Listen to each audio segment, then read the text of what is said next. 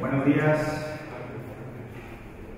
Salamanca es en el día de hoy la anfitriona de una reunión de la Comisión de Diputaciones, Cabildos y Consejos Insulares de la FEN. Hoy tenemos representantes de 23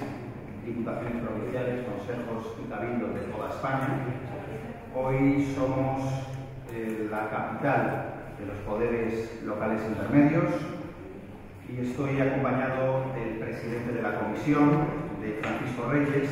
que más allá de ser el presidente de la Diputación de Jaén, es también el presidente de esta comisión. Esta cita la hacemos regularmente dos, tres veces al día por eh, toda España, año, dos o tres veces al año a lo largo y ancho de toda España nos acompañan presidentes, aquí están algunos presentes, pues de, varias comunidades autónomas, de Orense, de Cuenca, de Segovia, representantes de León, de Málaga. Y eh, tratamos de hablar de lo que nos interesa a las diputaciones provinciales, de cuáles son nuestros anhelos y sobre todo lo que intentamos es proyectar una imagen fresca, una imagen útil al conjunto de la sociedad, que es para lo que nos dedicamos las administraciones públicas, en este caso las administraciones provinciales, cabildos y consejos. y Uno de los objetivos es el realizarlo, como ha querido nuestro presidente Francisco Reyes, es eh, hacerlo, estas reuniones que se hacían habitualmente en Madrid, sacarlas fuera de Madrid para visualizar el que existe eh, esta comisión que trabaja por los ciudadanos, que trabaja en pro del interés común de la España rural, de la España que con, habitualmente tiene menos voz y que eh, normalmente está en un segundo plano. Queremos en el día de hoy en Salamanca ponerla en ese primer plano. Tenemos representantes llegados de Baleares, de Canarias, de Aragón, de Galicia, de Castilla-La Mancha, de Andalucía, de Castilla y León, como no puede ser de otra manera. Y he querido, como presidente de la Diputación de Salamanca, invitar y hacer de anfitrión precisamente para compartir con los colegas de todas las diputaciones de toda España, de los cabildos y consejos insulares, esta efeméride que estamos celebrando todos los salmantinos tan importante. Los 800 años de la Universidad de Salamanca, en la que un año especial para el conjunto de los salmantinos y he tenido interés, así lo propuse en su momento en la Comisión de Trabajo, el celebrar esta reunión en la ciudad de Salamanca. Tanto es así, después de la reunión queremos visitar la Universidad de Salamanca, el edificio antiguo, y visitar la biblioteca que tan amablemente el rector de la universidad nos ha permitido para compartir con nuestros amigos de toda España, de todos los presidentes de Diputación, cabildos y consejos, responsables que vienen de, eh, estas entidades locales eh, compartir esta efeméride con todos ellos. Aunque el presidente de la comisión dará detalles a continuación, sí quisiera detenerme en algunos aspectos fundamentales que vamos a tratar en el día de hoy. Uno de ellos, para mí uno de los puntos más importantes, es el papel de los gobiernos locales intermedios en el próximo marco comunitario 2021-2017. Recientemente, creo recordar que fue el 23 de mayo, hemos mantenido una reunión con eh, el segundo responsable de la Comisión eh, Europea del órgano encargado de la Comisaría de Política Regional de la Unión Europea encargada del reparto de los fondos europeos que tienen que ver con el Allí expresamos algo fuerte la necesidad de que las eh, entidades locales intermedias de Europa, en el caso de España, diputaciones provinciales, tengamos un papel relevante a la hora de la aplicación de estos fondos en cuanto a la despoblación se refiere. Somos las administraciones adecuadas, especialistas y cercanas al territorio creemos y somos conscientes, independientemente del partido político que pertenezcamos,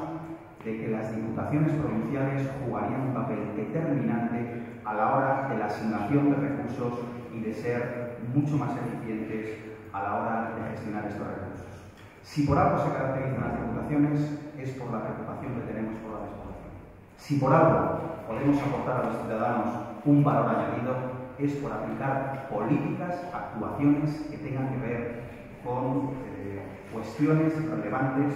y de valor para el mundo rural y especialmente, aunque no solamente la España España es un gran país, pero estamos padeciendo desde hace muchos años esa concentración en las urbes más importantes. Nosotros creemos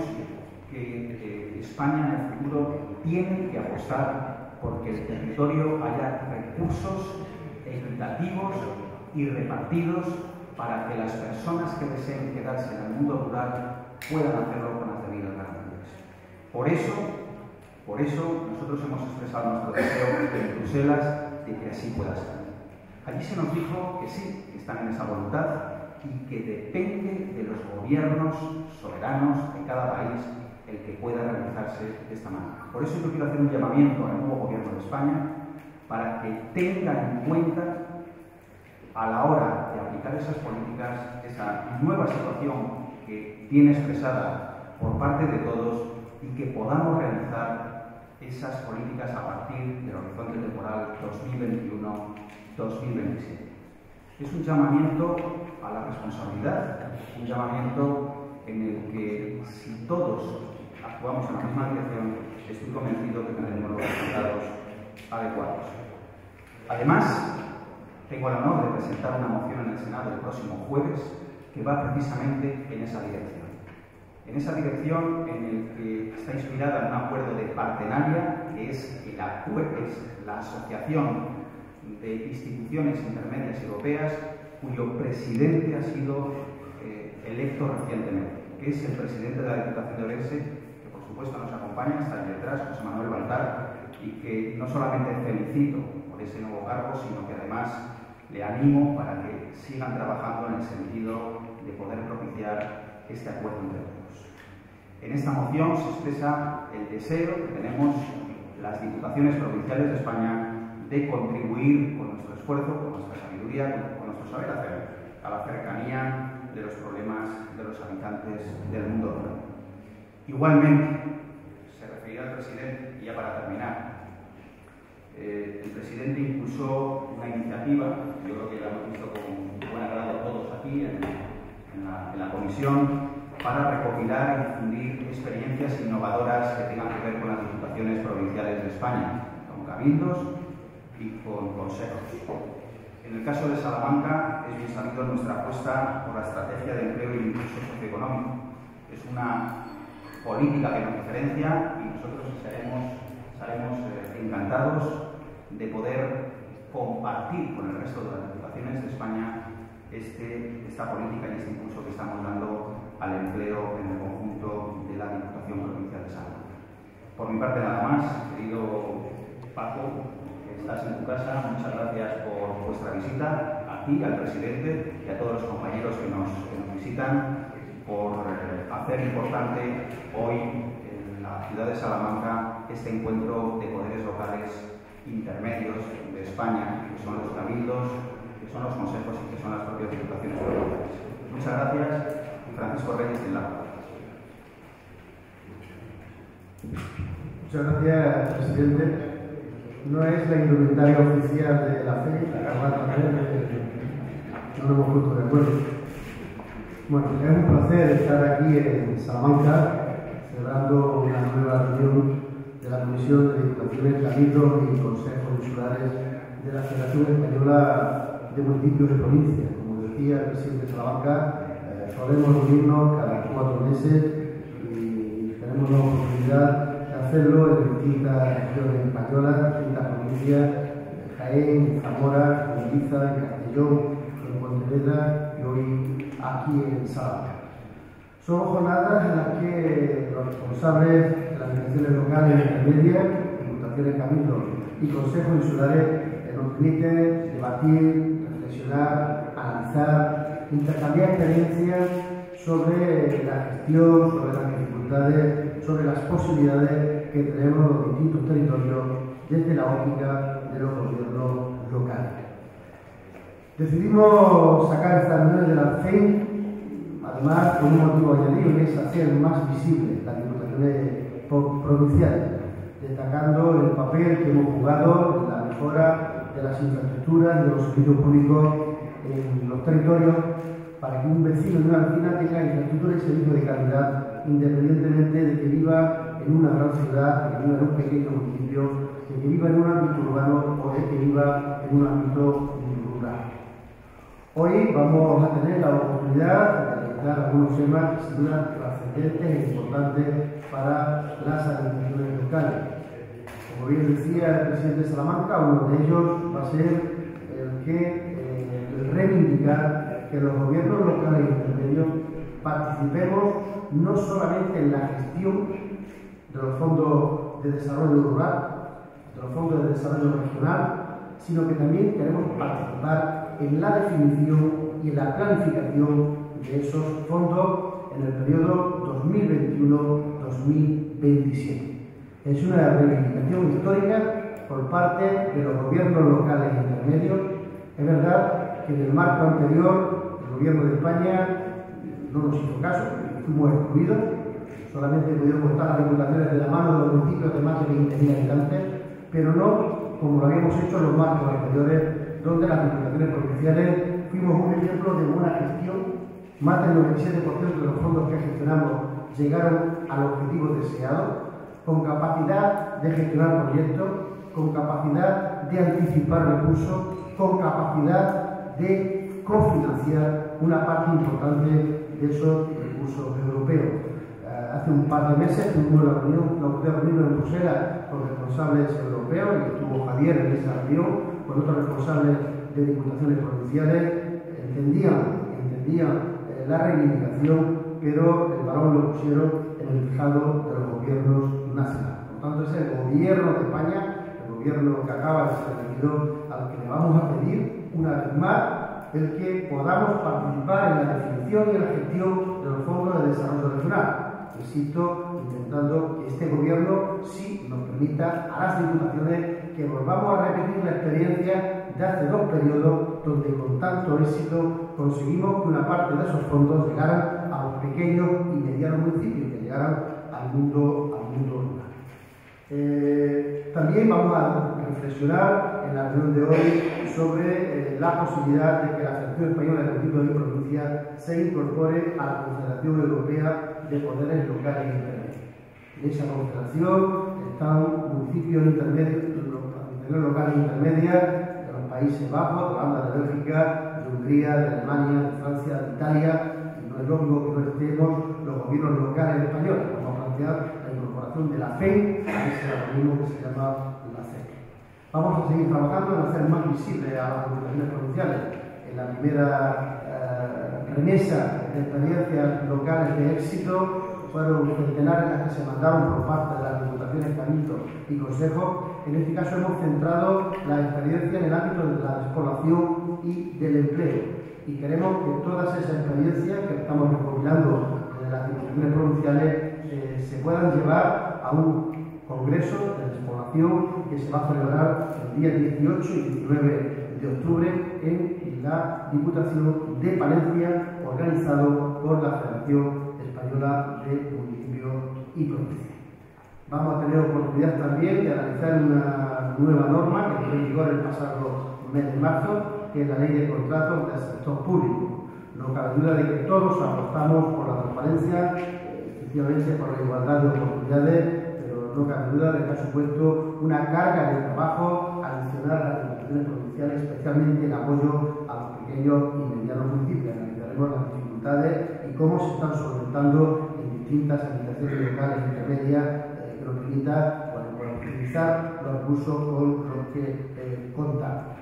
También vamos a analizar una propuesta de la Federación Española de Municipios y Provincias de un encuentro sobre envejecimiento y salud en la España despoblada, que se va a realizar posiblemente el 26 y 27 de septiembre en Albacete, en el que sin duda son argumentos más que suficientes y que ayudará, como bien decía el presidente de Salamanca, a trabajar en una línea que es fundamental para nosotros, que es la despoblación. Y la despoblación, desgraciadamente, no está ligada exclusivamente con los servicios y con la infraestructura.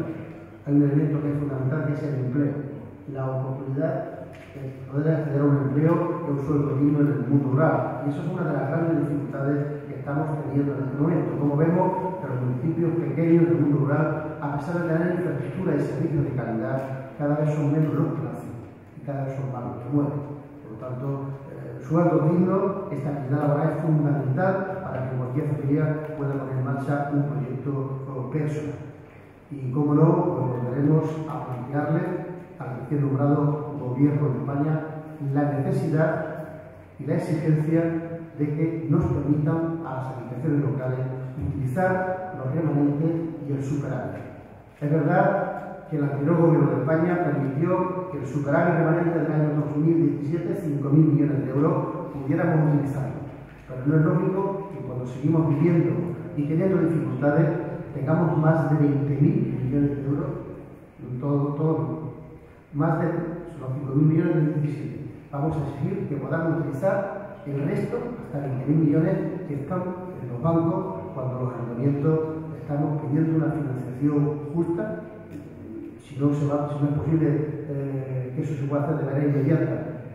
la financiación local, por lo menos que dejen que utilicemos lo que hemos sido capaces de utilizar, perdón, de ahorrar gracias a la buena gestión de las corporaciones locales. También vamos a pedirle de nuevo al Gobierno de España el que se retome, el que vuelvan a cofinanciar los planes provinciales de obras y servicios. Se dejó de financiar en el 2012 y queremos que es de justicia que vuelvan, que vuelvan a financiarse por parte del Gobierno de España el plan provincial de obras y servicios y, como no, algo que es importante, y es la tasa de reposición efectiva. Cada vez son más las competencias que asumimos las diputaciones provinciales, los ayuntamientos, y creemos que es necesario no solamente en la reposición del 100% de las nuevas bajas, sino que nos permita recuperar una parte importante del empleo, del empleo que se ha perdido en este momento de crisis, eh, porque cada vez, insisto, son más las competencias, las necesidades que tenemos desde punto de personal por parte de, las diputaciones provinciales, en este caso, son los amigos y consejos Creo que son temas importantes para el municipalismo, son temas importantes para los gobiernos locales intermedios y ese es el objetivo de las reuniones que.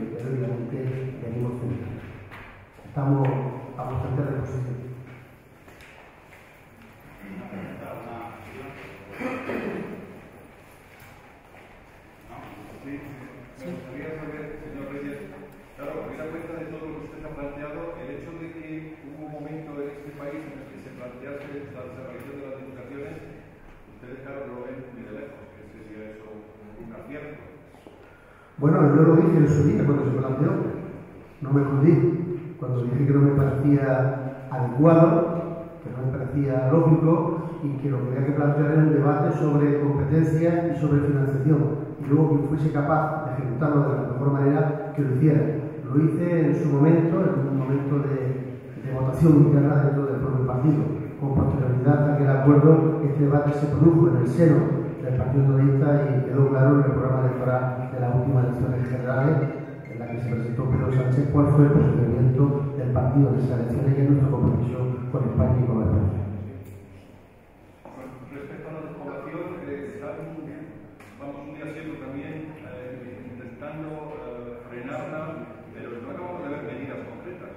De. Ese es el problema. Ese es el problema. En la última conferencia de presidentes que se celebró en el 2017, hubo una unanimidad por parte del presidente del Gobierno de España por parte del presidente autonómico de trabajar en varias líneas. Por un lado, debate sobre la financiación autonómica, por otro lado, debate sobre la ley de la dependencia, la aplicación de la dependencia y también sobre la despoblación que empezó a considerarse un, problema de Estado. De hecho, el Gobierno de España nombró una comisionada para la despoblación. Desgraciadamente, desde enero de 2017 hasta ahora no ha habido medidas legislativas, medidas legislativas ni del Gobierno de España ni de las comunidades autónomas para frenar esa despoblación y, por supuesto, reflejo presupuestario. En el último presupuesto, que se aprobó por parte, bueno, que se aprobó por parte del Popular, sí había una partida, para ver cómo queda, pero en un año y medio no se ha llevado. Creemos que es necesario medidas legislativas de iniciativa y, por supuesto, mm, con respaldo económico que permita eh, mejorar las posibilidades. Yo insisto, una opinión personal, yo creo que es fundamental no solamente eh, ese que haya infraestructura y servicio de calidad, sino empleos dignos y con retribuciones dignas. Desgraciadamente nosotros estamos viendo cómo mueren muchos más de los que nacen. El motivo fundamental es que es difícil que una pareja ponga en marcha un proyecto familiar con los sueldos, en muchos casos, con el tipo de contrato que están percibiendo y con los ingresos que vienen garantizados a cabo del mes. Problemática del mundo rural de engancharse al, al mundo digital es, es, otro de los asuntos que no acaban de. Me permite. Iba, iba a comentar que precisamente una de las medidas que nosotros solicitamos en su momento, que hemos visto con muy buenos ojos y que queremos que se mantenga, que lo vamos a acordar en la reunión que vamos a tener posteriormente, es precisamente el compromiso del anterior gobierno de los 525 millones de euros para el mundo rural. El gobierno de España puesto ya una cantidad importante este presupuesto, que es, si no hay ningún problema, esperemos que se apruebe, me parece que es esta misma semana, presupuesto general de España, elaborado por el gobierno anterior y asumido como propio por el gobierno actual. Y nosotros, en esa cantidad de dinero que se va a aprobar para este año, no es suficiente. Es el horizonte 2018-2021, 525 millones de euros para dotar de alta capacidad y alta velocidad de las eh, conexiones por Internet. Es más importante en el mundo rural, o tan importante, hacer una buena carretera, una buena carretera física, todos sabemos aquí en la Diputación de Salamanca y el resto de los colegas me consta que lo están haciendo, como tener las autopistas de la eh, comunicación digital que son fundamentales para mantener eh, el pulso económico y las mismas oportunidades en Málaga, en León, en Cuenca, en la ciudad de Salamanca, Jaén o en cualquiera de los municipios más alejados de la capital de. Muy bien.